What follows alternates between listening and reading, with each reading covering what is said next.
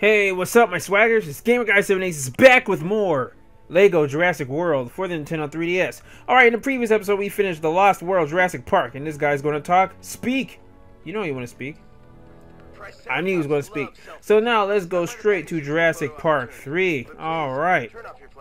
I want to see if I can get done with this movie fast, and then after that, we can finally get to Jurassic World.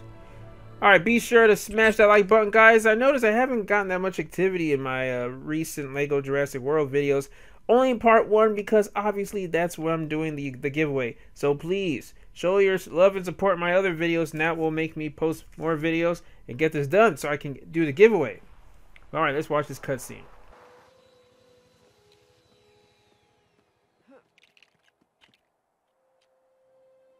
Dr. Grant. I give you the resonating chamber of a velociraptor. Oh. This is brilliant, Billy. Really, it is. Sad to say, I'm gonna have to back up in four weeks. Ah. Dr. Grant? Paul Kirby, Kirby Enterprises. Amanda and I just love the outdoors. Heck, we've been on just about every adventure tour they can come up with. I've chartered an airplane to fly us over Isla Sorna, and we'd like you to be our guide. And of course, we'd love to make a contribution to your research here.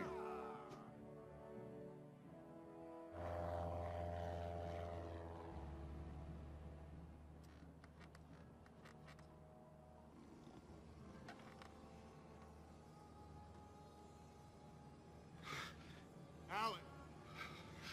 Alan? Dr. Grant? Alan! I think they're looking for someone.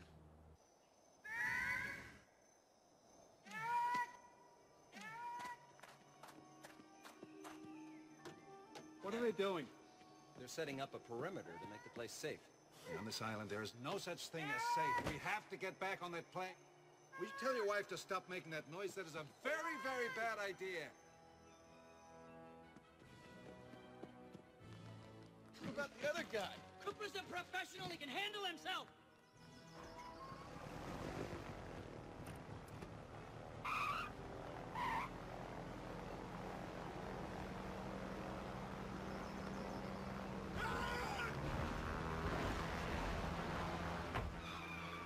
That's Cooper!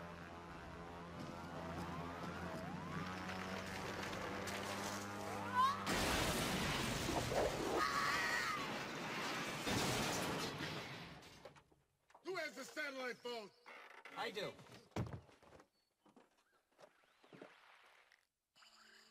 Alright, so that was the opening cutscene for Jurassic Park 3. Now, this is the movie I remember the most. Because, like, you know, the first two movies I watched when I was a very little kid. I mean, I saw the first one when I was a little kid, and I only skipped the boring parts and watched the exciting parts with the dinosaurs.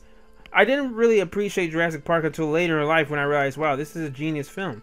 And I, like I said, I don't remember much of The Lost World, but Jurassic Park 3, this movie came out when I was 11. I think I got it on VHS when I was 12. This was actually the last movie I ever bought on video. Can you believe that? Because this was 2001. Like, uh, videos were already becoming obsolete. So, yeah, because, I mean, I got my, like, my dad purchased the DVD player back in 1999. First movie was A Bug's Life. So, we, I barely bought, like, anything on VHS unless, like, that was the only thing around. But after 2001, they basically stopped making movies in VHS, so that was pretty cool. But yeah, I remember this a lot, and I used to love this movie. But now that I look back on it, it's kind of sucks, you know. It has no relevancy in the timeline. Yeah, and that's the Spinosaurus Egypticus, or called the Spinosaurus. You know, I I don't know why some people thought this was a fake dinosaur. This was real. I mean, they they even research paleontologists confirmed a couple years ago that it was indeed a real dinosaur. All right, well, let's run away. Spinosaurus already chasing us. All right. Oh man, this dinosaur. Yeah, and unlike the T-Rex, the Spinosaurus has longer arms and extendable fingers. Okay, let's run out of here. Oh crap, that's slow-mo do. Okay, I forgot what these guys are. They're those guys that snatch eggs or whatever. Oh man, see that was a fossil. I just missed it. Oh well, who cares? You can only place Alan Grant here. I do like the chasing scenes here, and it's not that hard to go back and collect stuff. But yeah. Ooh, crap. Oh, cool. I got fossil piece A. Now you've seen two fossil pieces. I've only collected one, though. Alright. How are we running faster than a Spinosaurus? I don't get it. Alright, that's it for that mission. So let's go to the next one. That'd be crazy if that was like the whole like chapter. okay, now Spinosaurus versus T-Rex. This is the moment. The moment that divided the entire Jurassic Park fan base. you let a 12-year-old go parasailing alone? No! He was with a friend. Ben Hildebrand.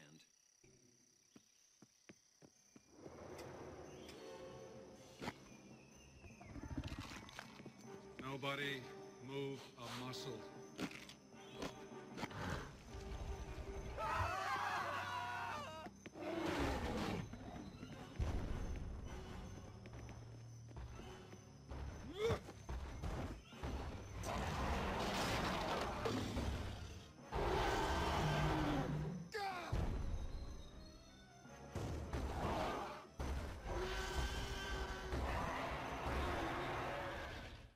We have to be quiet.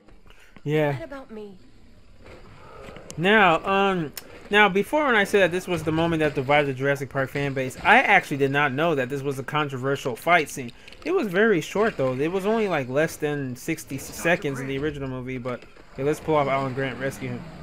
Uh, but I didn't know until I discovered the internet, until recently actually, that I found out, wow, uh, this was actually a controversial scene uh, with the fan base. Because a lot of people wanted the T-Rex to win, and the Spinosaurus won. Now, we don't know how this fight would have gone down in real life, you know, because we weren't alive when the dinosaurs were around. But they tried to make it the most logical battle, and Spinosaurus has longer arms, able to break snap necks, whereas the T-Rex arms are kind of small. Now, uh, recent research has shown that T-Rexes can actually use their arms more than we thought. No one really knows because uh, we only know their fossils. I thought it was a cool scene though. Not all the time T-Rex has to win. Oh, this fight's pretty hardcore for Legos. Oh crap. Okay. More help. Come on. Gotta get up there. Wait, we're trying to help the Spinosaurus? Or the... Oh, wait, we're trying to help the T-Rex? The heck? T-Rex don't give a damn about us. Uh, oh, gotta be this guy. Uh, Udesky, a.k.a. Mr. Noodle from Sesame Street. Poor Mr. Noodle, though. He gets, like, kill his neck gets snapped by one of the Velociraptors. This is also the first Jurassic movie to show feature feathers on the Velociraptors. Now, uh, uh, they only had, like, feathers on their head. They weren't completely covered in feathers, which, you know, uh, scientists say Velociraptors were actually short shorter than six feet or whatever, and they were all covered in feathers. I don't know how I feel about that, but yeah. Let's get our gun, shoot up here. It's okay. Got a I tranquilizer? don't think they hurt me. I hope they didn't hear you. Okay, can we turn this around? Let's turn that around. We better not miss. Over to you, Dr. Grant. What was Dr. Grant going to do? Oh, okay. So got that Velociraptor thing. He can use it to cut ropes. Oh crap. I know the perfect title for this episode. T-Rex versus Spinosaurus. Man, the Spinosaurus is ponying this T-Rex. Any ideas? I have an idea. Shut up and not die. Hey, what's this? I got my amber brick. Nice. Cool, I got a, a Gallimimus. Hmm. Alright. Let's push this here. I wonder if we controlling dinosaurs to hit that cracked wall there.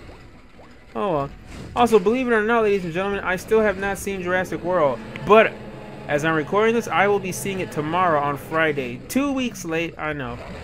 Okay, gotta mash the A button. Mash, mash, mash, mash. Okay. Quick time events in a Lego game. Wait, am I playing the T-Rex or the Spinosaurus? But the T-Rex still loses. Come on, let's move while they're both busy. Hmm, so they antagonize the Spinosaurus but make the T-Rex look innocent. Alright, okay, time to go to the next level. But yeah, Spinosaurus is the star of this movie. I remember uh, the, the you know how the poster always shows like the skeleton of a T-Rex. This one showed a skeleton of a Spinosaurus, which looked cool because it's longer snout. But you know, I learned that Spinosaurus are more water dwellers than anything else, find than land dwellers. You listening to me? We're gonna find him. I hated these characters in the movie though. Kirby and Alright, what's her face? Amanda. Kirby. They were so annoying. Like man, I actually hope that Amanda Kirby died. I was upset that they both lived, especially Amanda Kirby. Poor writing, you know. The movie should have made them the antagonists instead of the protagonists. Wait, what? How did Udesky come from the other side? I thought, eh, whatever. Let's jump here. Oh, we gotta hang on to this. Whoa, Huh. whoa. Phew. Hey, there's some luggage stuck up here. Someone will need to cut it down. Yeah, someone does need to cut it down. Now, what am I gonna do here? Okay, but how am I gonna? Wait, wait, wait. Let's break this. Let's break it. Nice. That's what I'm talking about. Let's be Alan Grant. All right. Let's cut this. Mash that A Look button. out. Hmm, I kind of remember this one because this was definitely the more recent ones I played. Uh, the recent levels. Okay, do I have to break things here? Oh, no, we gotta be Udesky. Let's see what else there is around here. Yeah, one thing I like what they're doing here is kind of cool is they use the original uh, voice clips, the original dialogue for the cutscenes. But in in-game cutscenes, they use with these, voice Grant? actors. But it's hard. It's kind of cool how they make them sound almost identical to their movie counterparts. But I can tell the difference, you know, especially for like Amanda Kirby and such. All right, now only Guess I'm up next. only Billy Brennan can climb up these walls. Right, anything with those tiles, only he can Hey, do it because he's parasail athletic. here. You fly one of those. Maybe, as long as the sail's not torn. Yeah. All right, so let's fly this uh, parachute down here. Double tap. Nice. I guess I can then. Guess I have to push this here. Can you use that? All right, but man, I'm exhausted today. Like it's it's uh just it just became the evening, but I did not get any sleep because I had to drop my mom early on Greyhound so she can go and visit my sister. You know. So yeah, that was just. Oh wait, wait, wait! I gotta use a gun here. Oh, never mind. I'm thinking Jurassic World. so yeah, I need to get some sleep if I want to enjoy Jurassic World, and I got a lot of shit to record. A lot. Thanks, Mr. Kirby. All right, Billy. Now use your parachute again. All right. Oh, that's my clock ringing. I hate how the camera just pans and shows me the obvious. It's like I know, dude. What the heck? Wait, wait, wait, man. Let's just lie down. Can you find something to make a bridge? Let me look. Oh, Yeah. Okay. Well, let's uh build this.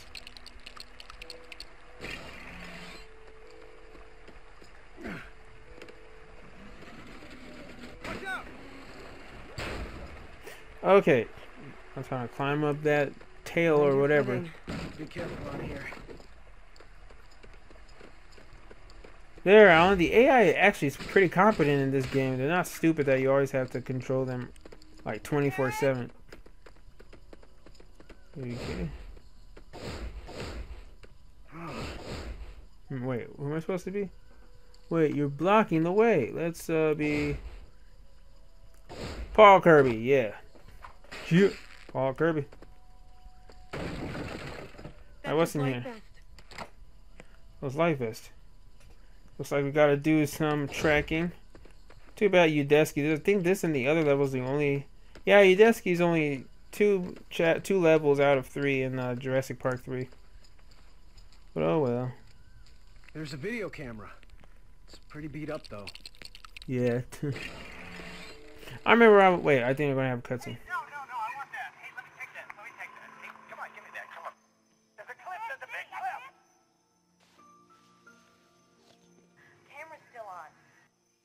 He's alive. I know he's alive. Eric! All right. Okay. So I think we're done with this level. Yep. Well, that wraps it up for today, guys. So you know what to do. Smash that like button, comment, subscribe, all that good stuff. Let's see how many likes we can get over here. Please show your support. Please comment. And keep on forgetting to say question of the day. I am sorry, guys, but question of the day. Who do you think is better and will win in an actual fight? Spinosaurus or the T-Rex? I want to see you guys answer that question in the comments below. All right, guys, take care. And until next time, swag out.